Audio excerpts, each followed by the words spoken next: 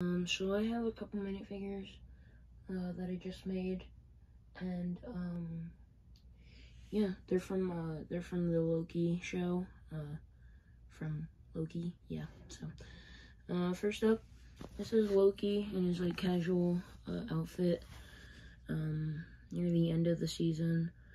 Um, the head and hair is from Loki from Thor Ragnarok.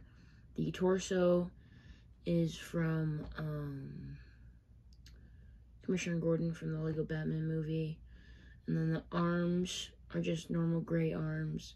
And the hands are just uh, normal hands, I guess. I don't know. Normal tan hands. Um, and then I just use some black legs. And I think it looks pretty cool. Um, I would use the arms from uh, Dorothy from the Lego Movie 2 uh, CMF series. Um, but I don't have that minifigure. If you do have that, I suggest you use the arms because it has a like white uh, sleeve um, and it's dual molded as well. Uh, and it just it would work a lot better.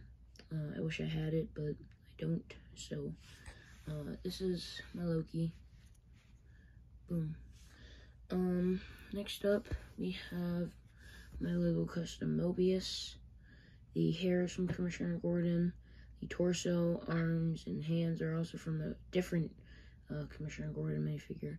Then I use some tan uh, legs, and then the face um, is from somebody from Star Wars Rogue One.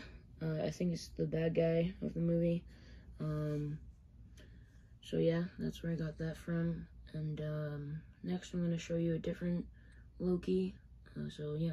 So this is uh, my variant outfit Loki that I made. The torso is from the same person uh, that I got the face from my Mobius from. Um, and then the arms and hands also came with it.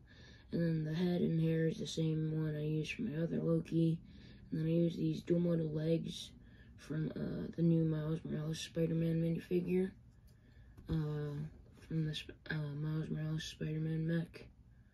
So, yeah. That's all I really um, had to show today. Um, so, yeah.